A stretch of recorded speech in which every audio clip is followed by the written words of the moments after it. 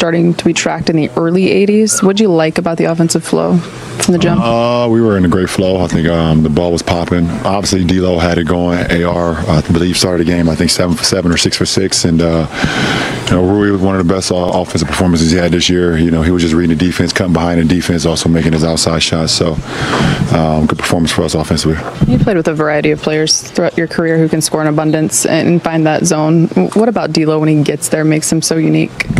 Um, I mean, when you have the ability to shoot the ball like that, you're gonna always keep the defense at bay. You know, you they never know if you're gonna shoot, if you're gonna drive, whatever case may be. And his uh, his range is um, um, is pretty uncanny. There's only a few guys, obviously, in our league that can come down with the dribble, and, you know, and just race from anywhere. And He's one of those guys. And once he gets going, you know, he can run three or four of them um, in the streak together.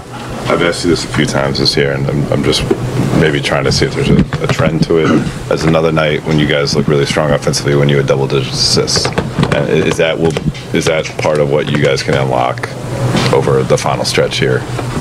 Um, yeah, I mean, for me personally, I'm always looking to get my teammates involved, and you know, defense shifts towards me. I'm always trying to pick apart the defense with the pass. That's just, I mean, that's that is my DNA when it comes to basketball. So, um, but obviously we got we have a lot of ball handlers too. So the ball is not always in my hands, which is okay. You know, AR handles the ball, D'Lo handles the ball, AD handles the ball. Um, you know, I think you know with Sky's minutes, he's been playing well. He's handling the ball too. So, um, but tonight worked well for us, and um, you know I was happy the guys was able to finish them. Ron, having a five starters and 20 plus points is obviously pretty rare. Um, what, what, type of offensive rhythm have you seen from you five over the last few games as you kind of come together? Um, no, I, can, I mean tonight was pretty good. I mean last night wasn't a great offensively. Um, yeah, no D'Lo and uh, you know uh, Rui had a, a, tough one. Um, we had we had you know a tough offensive game yesterday, but um, but tonight you know we left yesterday where it was and left it behind us and moved on to today. And you know, I love the way we perform.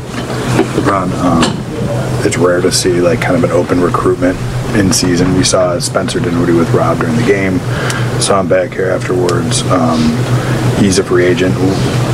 What do you think he could add to this team? Um, playmaking, another ball handler, another shot maker, another guy, um, another veteran.